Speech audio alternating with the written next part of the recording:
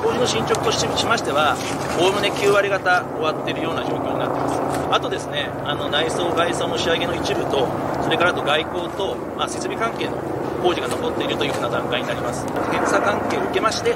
えー、春の、えー、暫定開業に向けて、え進んでいきたいというふうに思っています。